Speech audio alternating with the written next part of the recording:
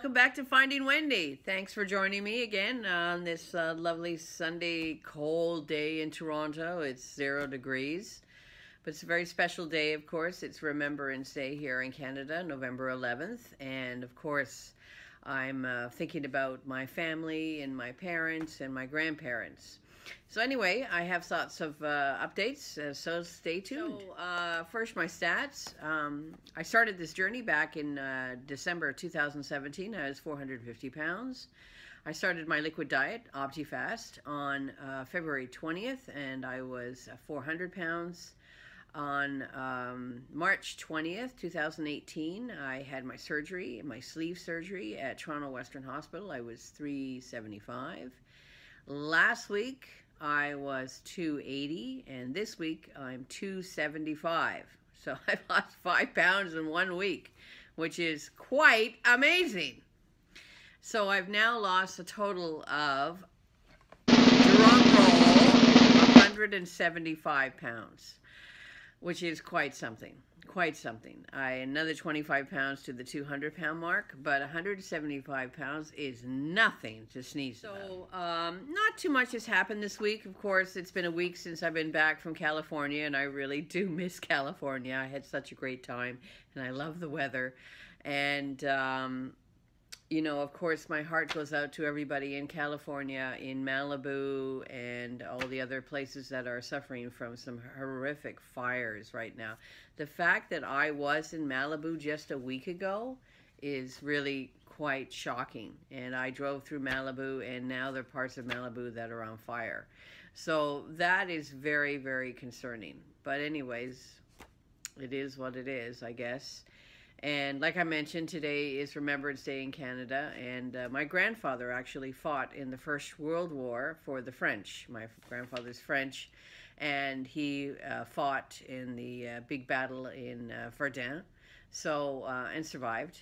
And um, so I'm thinking about him, and then thinking about my parents who survived the Second World War in Holland.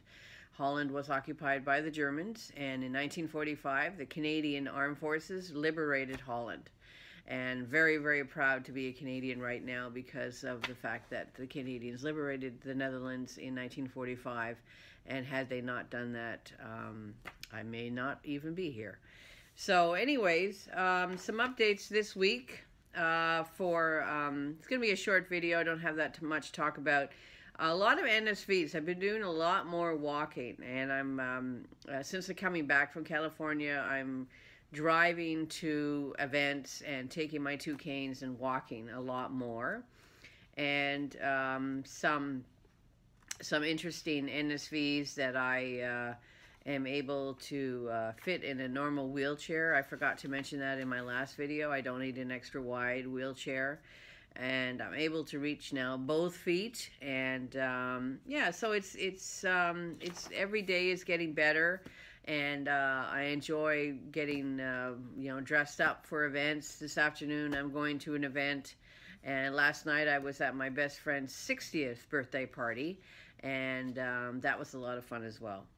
So, anyways, uh, good news about the five pounds lost this week. And um, that's about it. I don't really have much more to talk about. I'll have more things to talk about next week. I'm just sort of getting back into my rhythm here, and I've been teaching uh, on my horn uh, to my students, and just um, you know, just trying to figure out things and uh, get get stay with the program. Oh, and last night I forgot to mention at uh, this party, this 60th birthday party, I did practice mindfulness eating, and um, I had some chicken and I had some salad, and then for dessert, I had one small little Lindt chocolate. And um, I really enjoyed the chocolate and I took my time with eating it and I let it just sit in my mouth for a long long time.